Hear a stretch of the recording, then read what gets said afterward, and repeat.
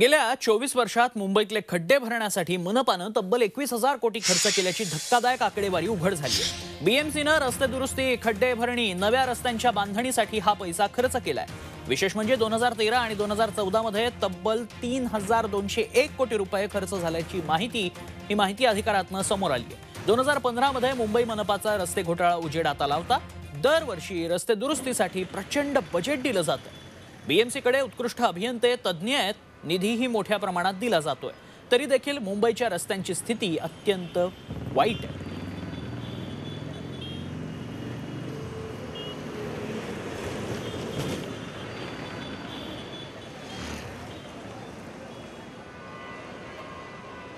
गेल्या चोवीस वर्षामध्ये एकवीस हजार कोटीपेक्षा जास्त तुमचे आणि आपले करातनं सत्ताधाऱ्यांच्या टोळीने वसूल केलेले हे रस्त्यामध्ये खड्ड्यामध्ये घातलेले आहेत. आणि त्यामुळे मुंबई शहरामध्ये रस्त्यात खड्डे की खड्ड्यात रस्ते हा प्रश्न मुंबईकरांना रोज पडत असतो. हायकोर्टाने स्वतःहून सुओ मोठो दाखल केलेल्या जनहित याचिकेमध्ये सुद्धा किंबहुना म्हणत काही थातूर मातूर कॉन्ट्रॅक्टरांवरती कारवाई करून अजूनपर्यंत मुंबई शहराच्या रस्त्याचा प्रश्न हा सुटलेला नाही.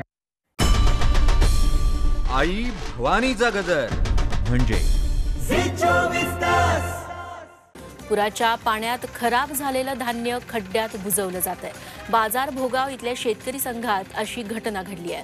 बाजार भोगाव इथलं इथं शासनाकडून आलेलं रेशन धान्य महापुरात पूर्ण भिजलं.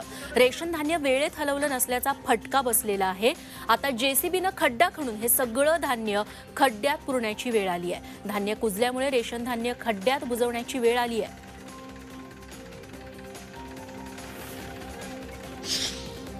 कोल्हापुरातला महापूर ओसरतोय परंतु आता रेल्वेपुढे मोठं आव्हान उभं राहिलंय. महापुरात रेल्वे रुळाखालची जमीन पाण्याबरोबर वाहून गेली आहे रुकडी वळीवडे या स्टेशन दरम्यान फक्त रेल्वेचे रुळ शिल्लक राहिलेत. खालची रेती वाहून गेली आहे कोल्हापूर मिरज मार्गावरती अनेक ठिकाणी रेल्वे रुळ अधांतरीच आहेत. त्यामुळे रेल्वे पूर्वपदावरती येण्यासाठी बराच वेळ लागणार आहे. साताऱ्याच्या पाटण तालुक्यातील दुर्गम शिंदेवाडी इथल्या बत्तीस कुटुंबांना वांग नदीच्या पात्रात मानवी साखळी तयार करून ढेबेवाडीत आश्रयाला आणण्यात आलंय. या बत्तीस कुटुंबांसोबत सोबत एका विधी शिंदे या सहा महिन्यांच्या बाळाची देखील रेस्क्यू ऑपरेशन राबवून सुटका करण्यात आली आहे. या बाळाला या नदीपात्रातून मानवी साखळीद्वारे बाहेर काढण्याचा थरार अंगावरती काटा आणणार आहे.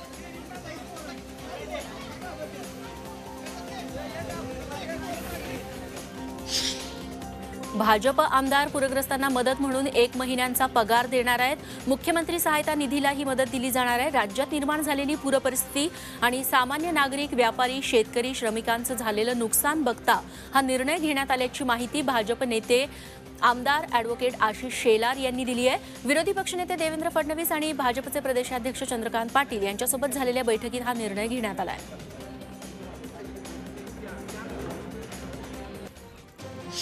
छत्रपतींचा विचार. म्हणजे